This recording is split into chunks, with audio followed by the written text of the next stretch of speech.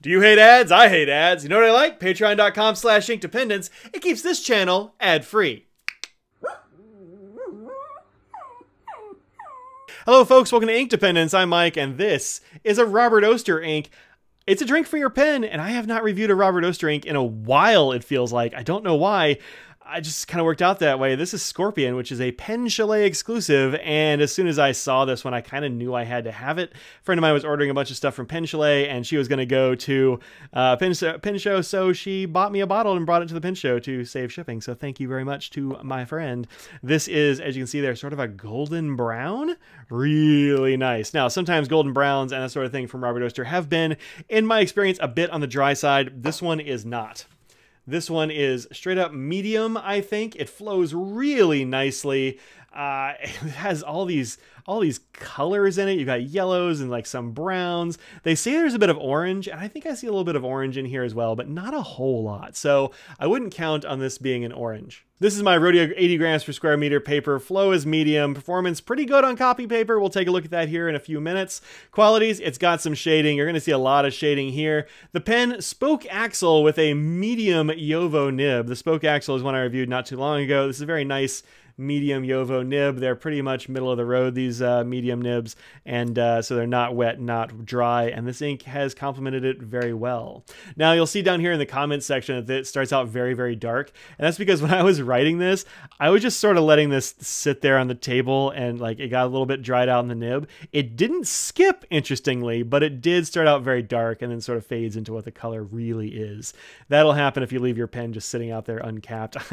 I just sort of let it sit there. I, I don't know know why. I just, you know, sometimes people do things. So, uh, the comment section, I took this from the Pen Chalet marketing copy, says this medium light yellow brown ink shows dark orange at very high saturation. This behavior is absolutely appropriate, or, uh, wait, appropriate as, I had a little bit of a skip there, I must have lifted it from the paper. Absolutely appropriate as the ink pulled its, its inspiration from the bark scorpions of the Arizona desert. They are known to be yellow, tan, or orange, but at high elevations may exhibit dark stripes, and you get some of all that stuff in here, except for maybe the orange, which I don't really see in this. This is just a medium nib. Maybe if I was using something very, very wet, you'd see orange, but I don't know. These come in 50 mil bottles. You can only get it at Pen Chalet, and they're 18 bucks a piece, which is, you know, typical price for this kind of ink. Okay, let's do our water drop test. Take a look at chromatographies and comparable inks and some different papers. We have to use a bigger syringe. I've been using this one mil for a little while, and it's kind of small. I usually want a little bit more water. Whoa, whoa, whoa, let's not get crazy. There we go. Okay. Okay. All right. So it's uh, sort of swirling there. I don't know. Let's see what this has left when we when we mop it up. So we're getting a lot of yellow at the top, which is interesting. All right. So what's left over? Mm, not much of anything. If you spill your water or whatever on this, you're not gonna you're not going to see it. And if you spill your coffee on this, what's left is kind of the same as the coffee stains I have here on the side of my notebook where I spilled coffee all over it a long time ago. So yeah, if you spill your coffee on this, it's done. That is 86. It's gone. This is what the chromatography looks like. And this is a very interesting chromatography. There's nothing left down here, which should have tipped me off. But look at all this pink and orange and, and green and so many colors in this chromatography. Who would have known you'd get this out of all this? Wild, right? Okay. On my usual Staples 20 pound, 30% recycled copy paper, it looks nice. No feathers here that I can see, no real spread of any kind. On the back, just a couple little dots coming through, uh, you know, here and there. That's very good for this paper. You can actually see the badness of this paper. Like, look at these like streaks. It's just not a good, not a good, cop not a good paper. It's not made for liquid ink, man. It's made for I don't know, printer toner or something. But that, said, this works very well on there, and that's impressive. Next up, Domtar 28. I got this from Blank Slate Paper Company. Link in the description. You can go there and make your own lines and dots and whatever you like there. And as you can see here, it started out a little bit light up here. I think, again, I just kind of let my pen just sit there and uh, I didn't really want to put down ink for a second. By the time I got through the, the word Transformers, though, it was ready to go. This is all just transcribed from the 99% Invisible City by Roman Mars and Kurt Kohlstedt. I've been really enjoying transcribing this book. Uh, this is all about um, you know how they hid electrical substations in neighborhoods and made them look like houses. Sounds really cool. So Yeah, I dig it. And this ink looks really good on this paper.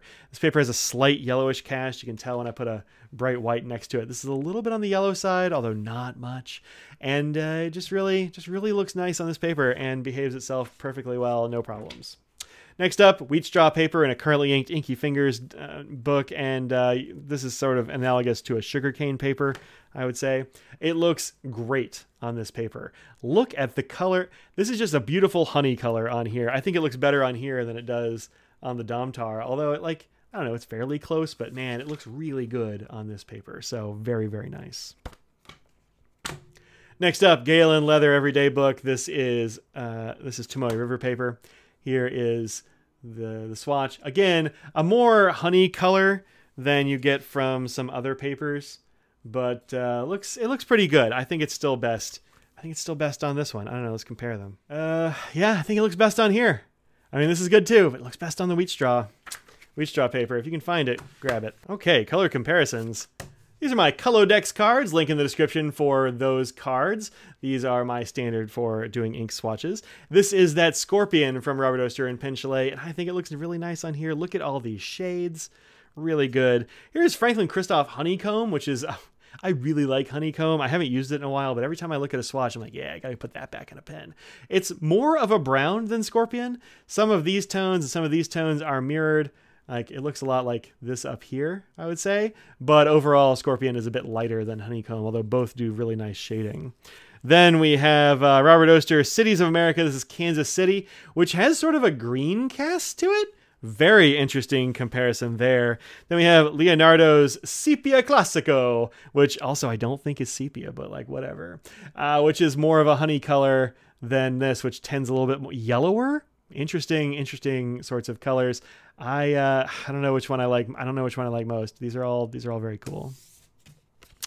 Then let's look at this one. This is Colorverse String, which I think is very close to Scorpion from Robert Oster. And then Robert Oster's Cafe Crema, which is way darker. If you're looking at this, you're like, man, Mike, I like this kind of color space, but that's too light. I don't want to write with that kind of color.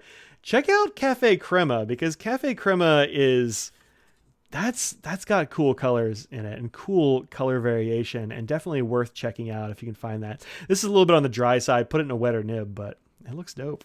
All right. And lastly, I think the closest is this one. This is Sailor with Tintirius, which is homemade tortillas. I got this from a friend Kimberly's little sample I got. They they sold out of this almost immediately. You won't be able to find this one. But if you were like, oh man, I missed out on homemade tortillas, get some Scorpion it's very, very, very close. This one gets a little bit darker, I think, than the Sailor does. But, I mean, look at these colors. Look at that. Look at these up here. So close. This is a little bit darker. This is a little bit yellower. Still totally readable.